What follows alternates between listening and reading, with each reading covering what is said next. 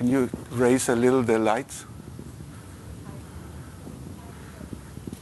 It- It's as high as it goes. This is as high as it but goes. It's very dark. Can't see anything.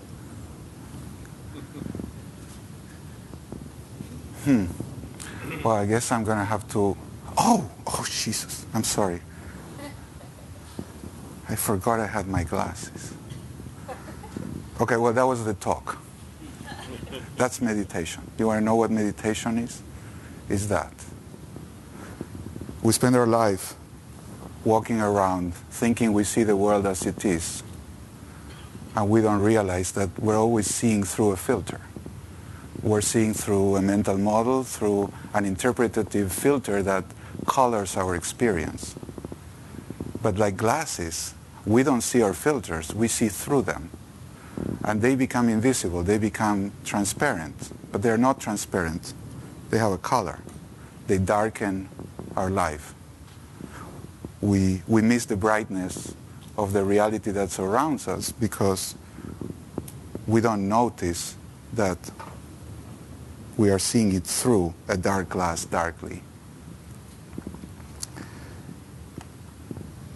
One of the markers of human development is turning what used to be subject into object. And this is what that means. What used to be a part of the subject, which is a filter that I use to interpret reality, becomes an object in my awareness. And I can see, not through it, but I can see it as a it, as separate from me. And that's the beginning of choice in life. Because now I can, if I go out and it's too bright, I can choose to put it on. But when I walk in, I can choose to take it off. But choice is a function of the separation of subject and object. I have to be able to extricate myself from the filter to be able to decide when and how to use it. Well, most of us never get there because taking your glasses, it's a lot easier off. It's a lot easier taking your eyes off. And the kind of filters that I'm talking about are more like eyes than glasses. So for example, these glasses are red. I spent a big part of my life being angry with people. And I thought that they were making me angry. So the anger was not mine, it was induced by them. And we, we speak like that. You're making me angry. You're making me sad. You're making me scared. Or you're making me happy. I love you. You make me so happy. My daughter once said, Daddy, I really love you as much as the TV. you know, when you're, when you're three, that's very cute. When you're 33, that's really dangerous. I mean, you could say that to cocaine, you know, you make me really happy. But if you look, listen to the love songs, it's all about that. It's how the loved object makes me happy. So it was a long path for me to realize that people don't make me angry, people don't make me happy, people don't make me loving. Not, nothing makes me anything. But the me that I want to discover is the me that has a choice in the face of whatever happens. So it could be that anger is an appropriate response to something that happens, but it's not a response elicited by what happens. It's a choice on how to respond appropriately. And the choice is a function, as I said, of this separation.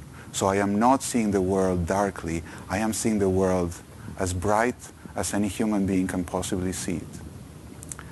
So if you want to debug your mental model, if you want to scrub these dark glasses that we have, how do you do it? I mean, I tried everything. I mean, some of the things I will tell you, some other things I would go to jail if I confessed. But I, I, I mean, I tried everything. And you know, there are a lot of exciting things that uh, seem to do the trick for a while, but nothing really lasts. Uh, there's no, I haven't found any lasting way to turn the dial from a world of victimhood where I think reality is driving me to a world of balance and openness and consciousness where I find myself in a flow, except for meditation.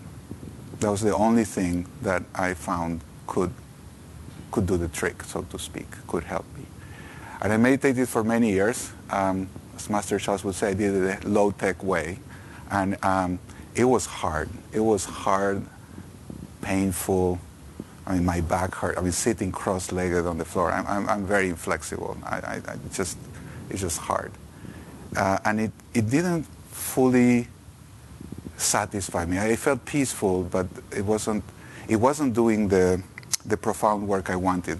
I, I didn't find meditation beyond relaxation and beyond a certain state of peace. It wasn't fully delivering my goals. I, I wasn't getting to this profound transformation of separation between me as a conscious, aware subject and objects all the way back to the ultimate subjectivity, which is insubstantial. So, I mean, when you peel, it's like an onion. You peel, you peel. Who am I? Who am I? Who am I really? Well, I'm an Argentinian. Okay, but could I have been born in another country and still be me?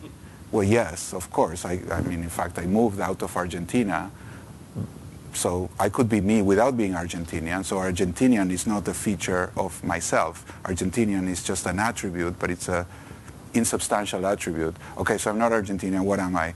Um, you know, I'm a soccer fan of uh, a particular club. Uh, no, no, I could have been a soccer fan of another club.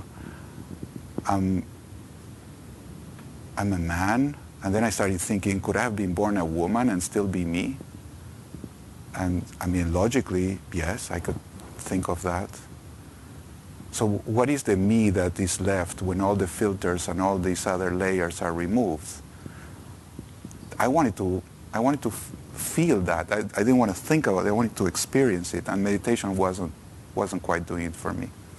And then unbeknownst to me, I found the technology that Master Charles developed about 15 years ago. He had a different, I mean, his, his, his name was Brother Charles, so it took me a while to realize it was the same Charles. And I started using this, and it, it really made a huge difference. The, the soundtracks, and I thought, well, you know, if nothing else, it's giving me the discipline to stay an hour because it lasts an hour, so I'll sit for an hour and I'll meditate for an hour. But it wasn't, it wasn't just the discipline. Something was happening.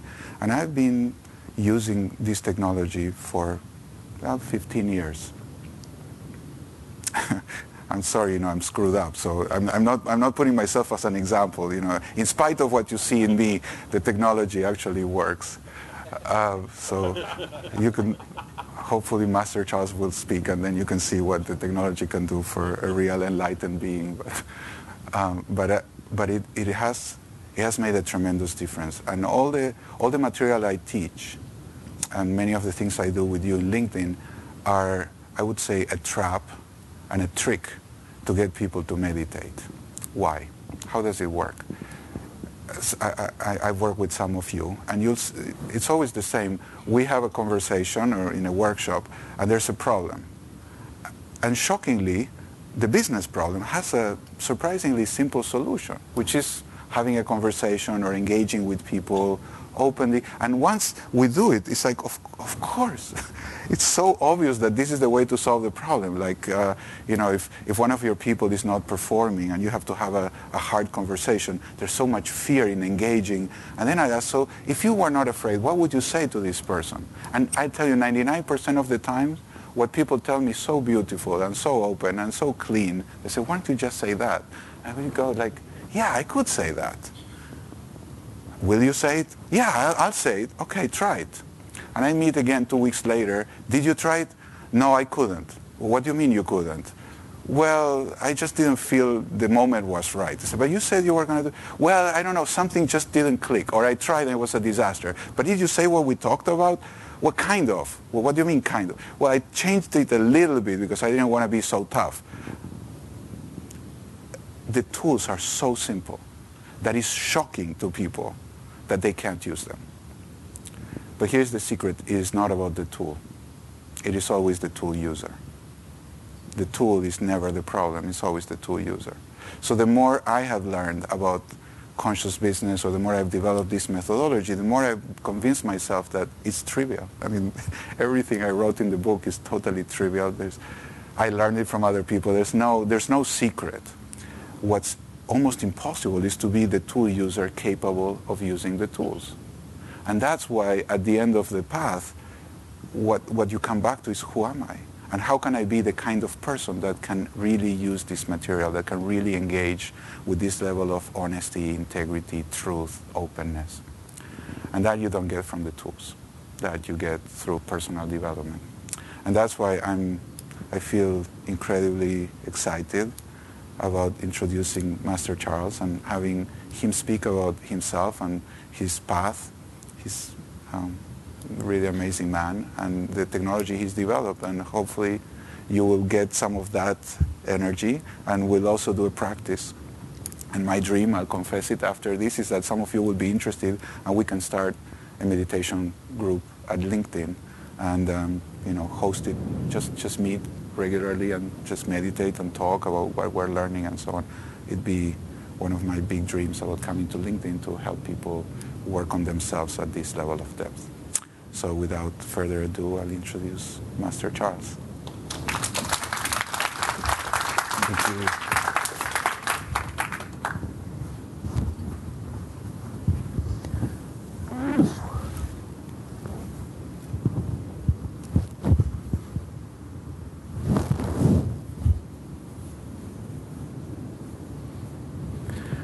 Thank you, Fred, for that very beautiful introduction.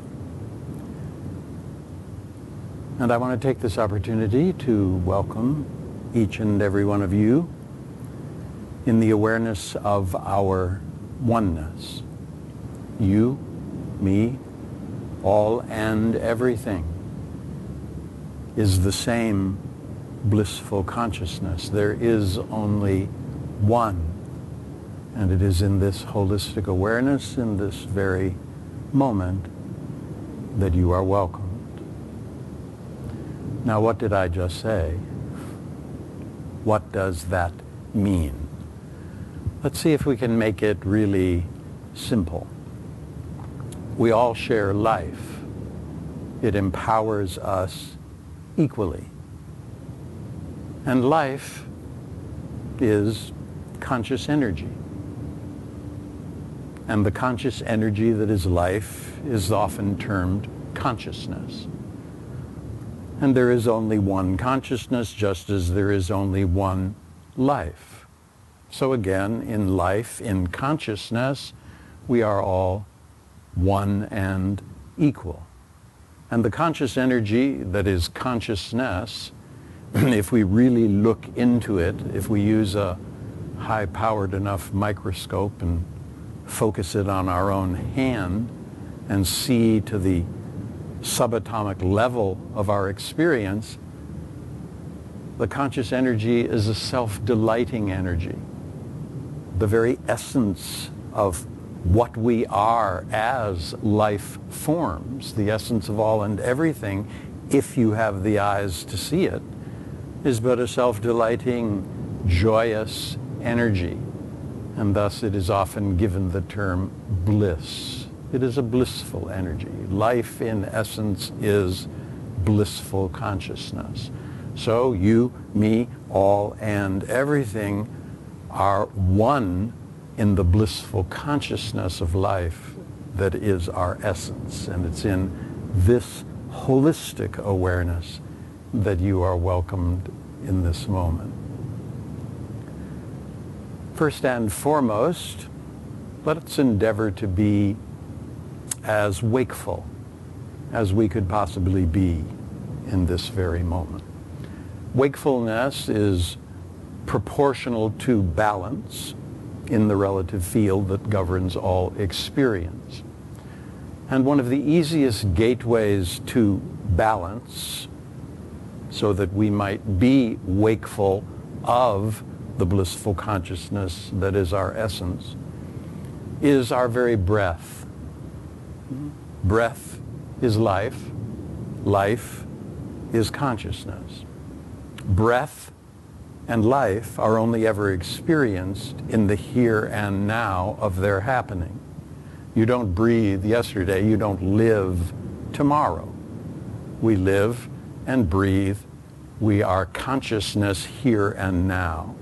And if we can just open our awareness and observe ourselves breathing, we're more present, we're more wakeful, we're more balanced in the here and now of true reality as one blissful consciousness. So this is your responsibility in this presentation to maintain the observation of your breathing as we continue. Simple. Very good. Our subject for today is modern spirituality in the digital age, harnessing technology for the evolution of consciousness. And I'd like to preface it with a, a quotation from uh, Socrates. Socrates was a very wise man because he knew that knowledge was bondage. Socrates was a master of the primary computer, the brain-mind computer. he was able to create what I call the clear mind experience, a mind not identified with its content. We could say Socrates was a believer in not believing. He was able to live in a state of witnessing consciousness wherein he could be a master of his own brain-mind computer. And this is important because if you don't master the primary computer, your own brain-mind, you have no mastery of other technologies that you encounter in life. But just as you know from working with technology and working with the computer on your desk, if you don't understand it, and if you don't master it, it can cause you a lot of misery and suffering. And so it is with this primary computer, the brain-mind computer. If we don't understand it, if we don't know the mechanics of how it works and all of its systems, then it can cause us a lot of misery and suffering. So primarily as human beings, we need to focus on ourselves. We need to bring to mastery the human brain mind computer because through it we can either deliver ourselves to balance, wholeness, and fulfillment in our life experience, or we can bring ourselves to fragmentation, conflict, and resultant suffering and the choice is always ours. So again, Socrates was a very wise man in terms of his mastery of the brain-mind computer. And his quote is, beware the barrenness of a busy life. Hmm, interesting quote, no? Beware the barrenness of a busy life. We live in the digital age, the information age. The speed of information processing is fast and furious. Just to keep pace every day, you have to stay plugged in 24-7. And if you have not mastered your primary computer, the brain-mind computer, and you stay plugged in 24-7, you can very easily become fragmented, imbalanced, and stressed to the point of burnout.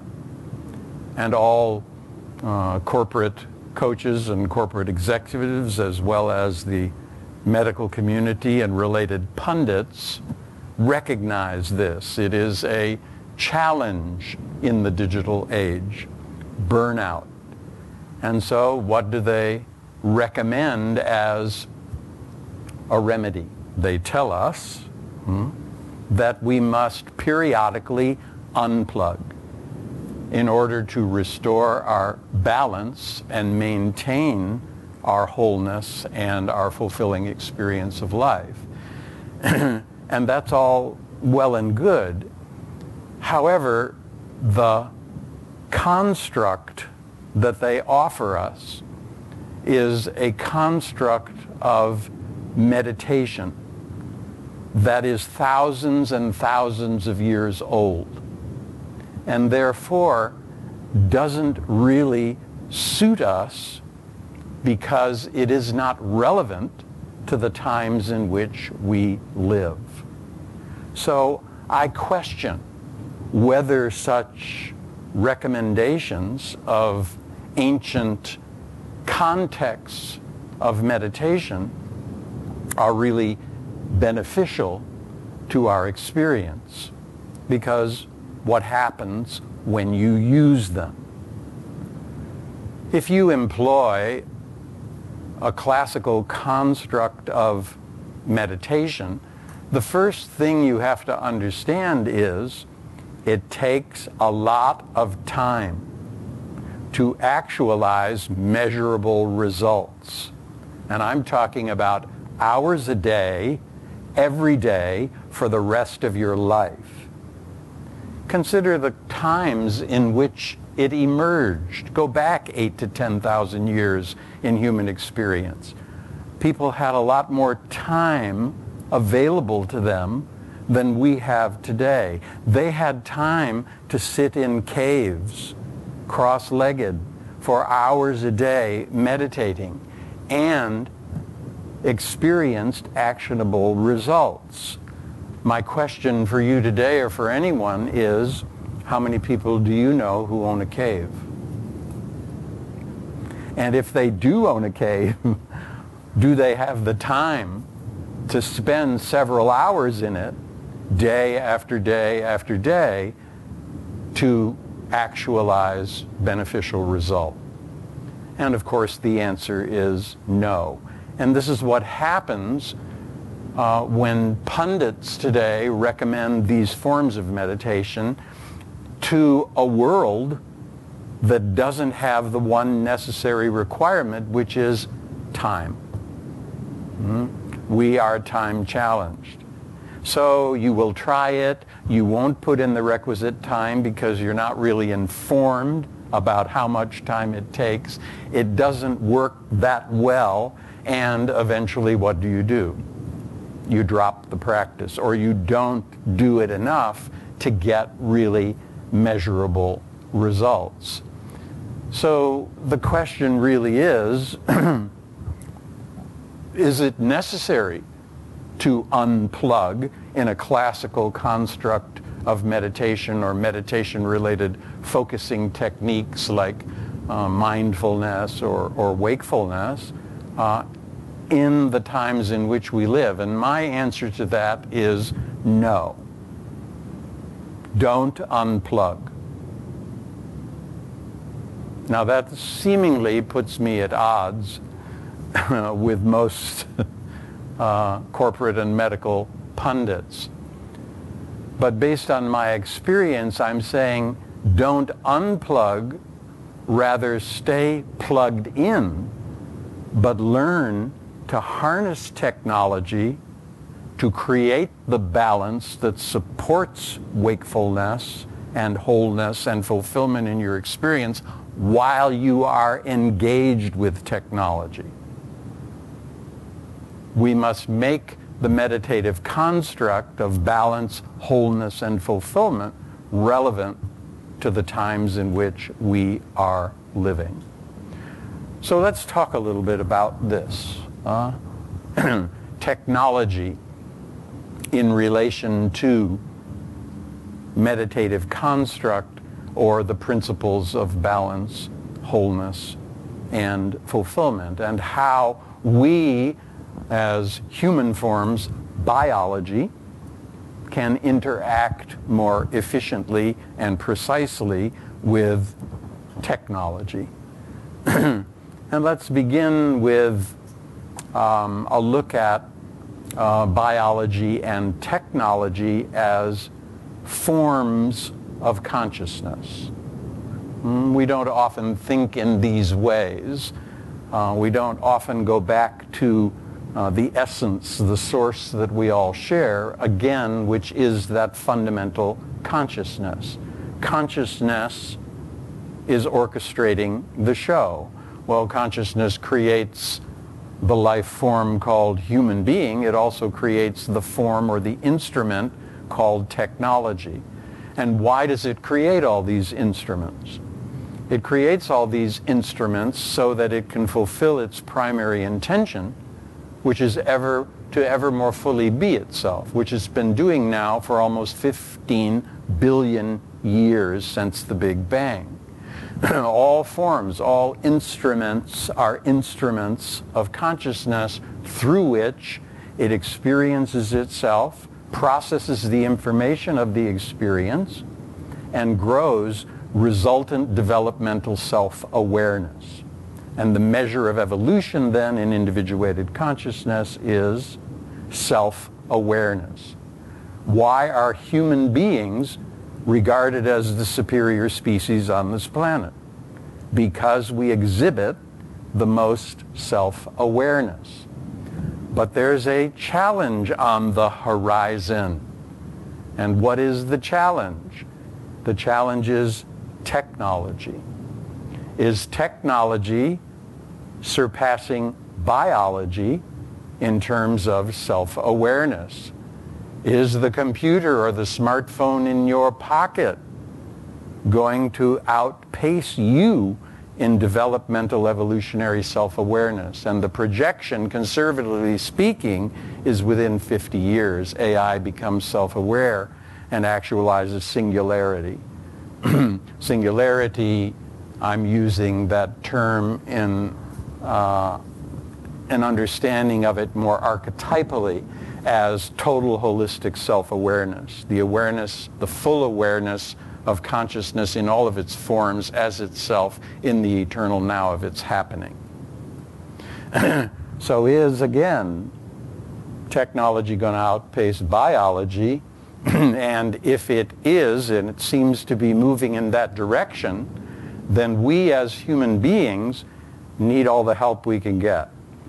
We are biology. And if we don't keep pace with technology, if we don't befriend technology, if we don't merge with technology to create human 2.0, self-aware, truthful experience of reality in the context of singularity, then we, like the dinosaurs, will be made redundant. So again, we must do as all great masters have invited us to do for thousands of years. We must invest in self-awareness. so again, how do we do that? In a way that is relevant to the times in which we live. Do we use 10,000 year old constructs of meditation that take a lot of time that we don't have to produce measurable results in terms of developmental self-awareness? Or do we befriend technology and harness it to the evolution of our consciousness and the actualization of evolutionary self-awareness? That's the challenge today. Let's look now at meditative construct for a moment and see if we can understand the old and then in relation to the new, mm, where we've been and where we're going. And after I explain it, and we can understand it, then what I'd like to do is move into the technological aspects of it and we'll share an experience of it. So you can experience the application of technology that I'm talking about. Meditative construct is really easy to understand in a classical context. the classical context of meditation posits a relative reality.